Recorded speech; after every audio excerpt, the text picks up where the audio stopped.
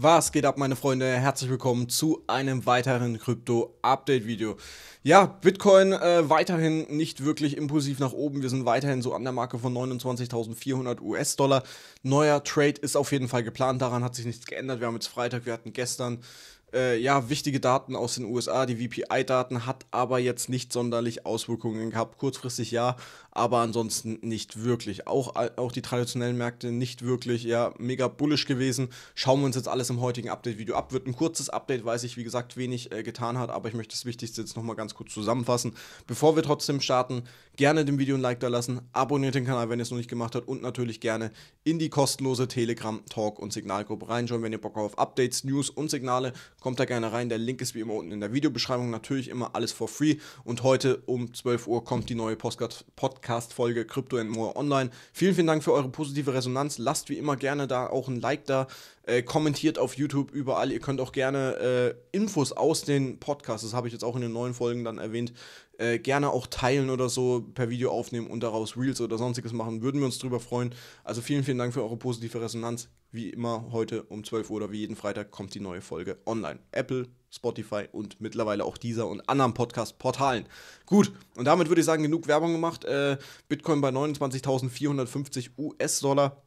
Ihr seht hier diesen Wick, der kam gestern zustande, nachdem die Inflationsdaten veröffentlicht wurden. Da blicken wir jetzt nochmal ganz kurz drauf. Wie sind die Zahlen ausgefallen? Wir hatten äh, VPI-Daten von 3,3% in der Prognose, es sind aber nur 3,2 geworden. War ein bisschen absehbar, dass die ein bisschen besser ausfallen sollten, weil eben Ölpreis, äh, Energiepreise noch nicht so stark sind wie vor einem Jahr. Also sie sind immer noch ein bisschen tiefer. Dass die Inflation steigt, war aber auch wiederum ein bisschen klar. Also eigentlich grundsätzlich positive Zahlen, auch wenn die Inflation stärker ist, aber die FED hat das Ziel zwischen 3, 3,5 Prozent. Das ist das Ziel der FED und danach sieht es weiterhin gut aus, solange die nicht exorbitant steigen. Wichtig in dem Sinne auch, äh, wo haben wir es, wo haben wir es, die Kernrate auch um 0,1% sogar gesunken, also besser als prognostiziert, sehr, sehr gutes Zeichen. Und auch hier die äh, Verbraucherpreise auf einen Monat gerechnet, die Kernrate auch human mit 0,2%. Also sehr, sehr gute Zahlen grundsätzlich. Einfach mal heute, äh, was haben wir heute noch? Wo haben wir es? Wo haben wir es? 14.30 Uhr. Kommen dann auch nochmal News. Die Erzeugerpreise, auch die sollten wir mal ein bisschen im Blick behalten, wie sich diese verändert haben. Also um 14.30 Uhr nochmal ein paar News für uns. Auf jeden Fall Bitcoin, wie gesagt, erster Push Richtung 29,7. Danach wieder Abverkauf und meine Kauforder, die liegt, das habe ich auch schon im Livestream dazu gesagt, momentan bei 29.300 US-Dollar. Das heißt hier genau am Golden Pocket mit eben diesen Stop-Loss und daran hat sich auch nichts geändert. Weiterhin hier unter dem 0786er bei 28.950. Heißt, wir haben hier einen Risk von 1,15%.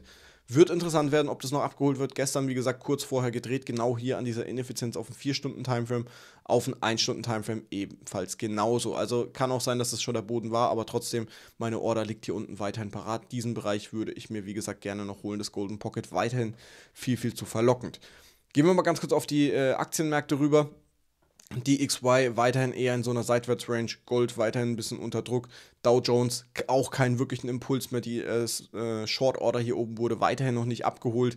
Also so richtig Bewegung in den Märkten ist hier noch nicht, außer dass der SPX jetzt mal auf seinen Support drinnen ist. Ihr seht auch hier schon die Long Order, auch beim SPX bin ich jetzt long gegangen mit einem Stop Loss bei ungefähr 4405 Punkten. Also auch hier ist die Long getriggert. Aber so eben dieser Befreiungsschlag ist noch ein bisschen ausgeblieben. Darauf warte ich ehrlich gesagt noch deswegen die Long Order nach unten. Nach oben hin ähm, ist auch, wie gesagt, weiterhin eigentlich äh, nichts anders. Wir müssen nachhaltig über die 30k-Marke, um wieder mal so ein bullisches Momentum zu bekommen. Ansonsten ist der Markt einfach in einer kompletten Seitwärtsphase gefangen. So fair muss man sein. Es tut sich einfach derzeit sehr, sehr wenig. Volumen ist rückläufig. Also ich erwarte heute schon noch einen Move und dann steht das Wochenende schon wieder an und dann wird wahrscheinlich wieder gar nichts passieren. Also heute nochmal Hoffnung haben, dass die Order abgeholt wird, dass wir ein bisschen mehr Bewegung reinkriegen. Ansonsten ähm, gehen wir nochmal gerne in den Tageschart rein, machen wir noch die FIP-Levels ganz kurz weg, schauen uns das an und demnach haben wir auf Tagesbasis eben noch diesen Push oder diese Möglichkeit, hier diese kleine Ineffizienz zu schließen bei 29.275 US-Dollar. Das heißt, die Order würde auf jeden Fall noch abgeholt werden und das ist auch weiterhin so ein bisschen die Chance, die ich einfach hier sehe, um dann gegebenenfalls nochmal einen Anlauf nach oben hin zu starten in Richtung 30.000 US-Dollar.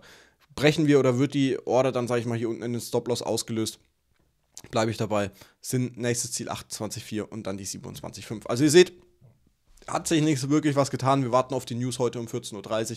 Wird nochmal interessant werden, deswegen jetzt nur ein ganz, ganz kurzes Update. Später um 13 Uhr oder um 14 Uhr kommt dann noch das XRP-Update. Könnt ihr euch drauf freuen für alle XRP-Freunde da draußen. Und ansonsten brauche ich das Video jetzt hier nicht unnötig in die Länge ziehen.